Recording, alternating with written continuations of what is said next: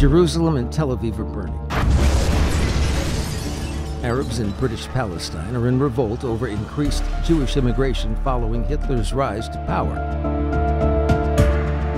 In response, 30,000 British troops in the largest naval flotilla since the Great War arrives at the port of Haifa to quell the revolt. Among the officers who land there, there's one with a revolutionary view that rather than embrace the pro Arab policies established by T.E. Lawrence, the legendary Lawrence of Arabia, the way to counter the revolt is to arm the Jews. This, the new Lawrence, is Lieutenant Orde Charles Wingate. Wingate's determined to persuade both his British commanders and Jewish leaders Though on opposite sides on many issues, both sides agreed that Wingate might be crazy.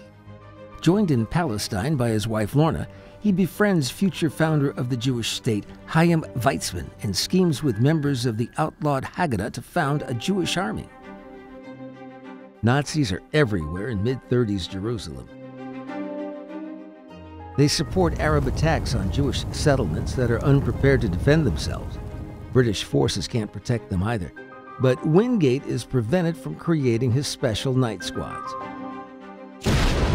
When Arab rebels blow up a vital British oil pipeline, General Archibald Wavell finally gives Wingate the nod to train Jews. His special forces, made up entirely of Jewish settlers, use the cover of night to stem the forces of the Arab revolt.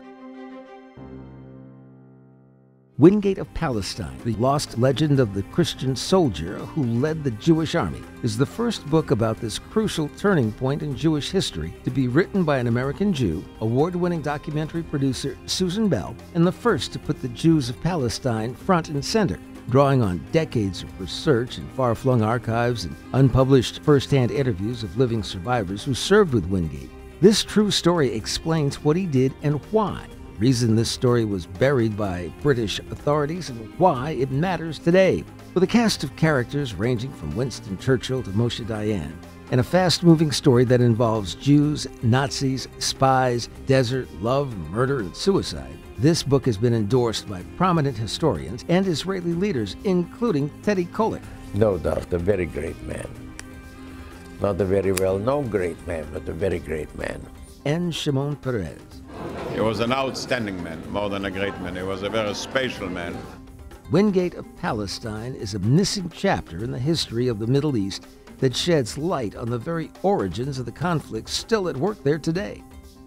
Join the soldier hero the British wanted to make disappear and the special night squads of the pre Israeli army as they prepare the foundations of the Jewish homeland in Wingate of Palestine.